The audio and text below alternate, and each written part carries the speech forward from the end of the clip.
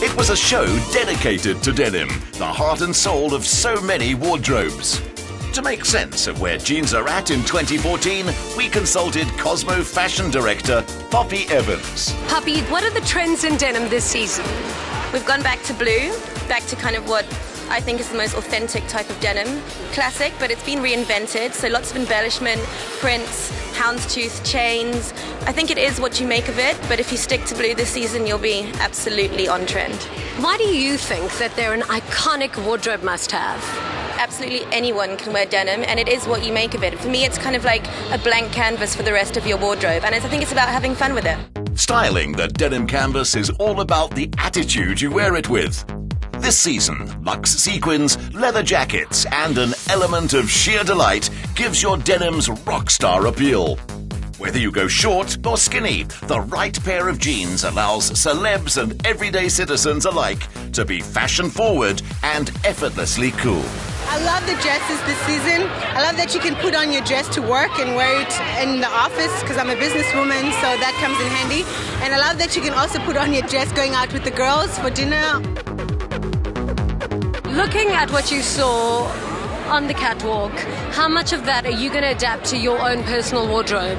because I saw some stuff that they did, some awesome layering that I thought I could do that, and some great some black on blue, which I normally think doesn't work, but it looked great on them, and some nice high tops. So, in Siv's words, he'll be borrowing some of these ideas. Trend manager Luke Phobian educated us on how green these magically fitting blue jeans really are. Hi, Luke. Hi. Hi. I saw these jeans on the catwalk and now I need a pair of my own. They looked so hot. Yeah, we're very proud of these jeans. These are the latest launch, our refit jeans, which is a new stretch innovation uh, with stretch, yeah. and it looks great. So it really flaunts the curves, perfect stretch. So you can pretty much wear these jeans all day long and it holds its shape. You look absolutely gorgeous in these. Are they comfortable? You. Oh, they're so flexible, but still they hold everything in the right spots, if you know what I mean. okay, I'm sold on that quote. I'm really short, so I can only really pull off skinny jeans. Do you have a pair that I can try? Absolutely. Here we go. Skinny Steve. Ooh, I do skinny. if I don't fit into these, I'm gonna die. They're in step with Pharrell Williams recycled denims, which won a product design Grand Prix at the Cannes Lions Festival. These are amazing. Well, they look I absolutely good. love them. It's doing that. well, they fit really well, but they also sit well with your conscience. What is Ree doing to reduce the carbon footprint? This over here, particularly, is the recycled jean, which is mainly in the menswear area. And this jean is polyester combined with African cotton.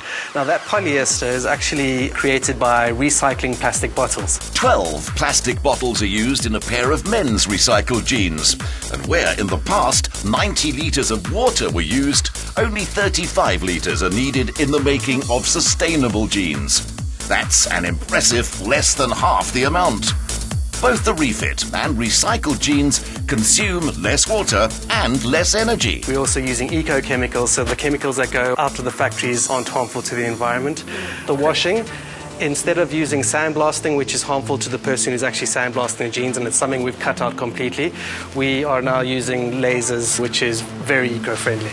I find it so progressive and so smart that fashion is actually moving with the times. Absolutely. To save the planet.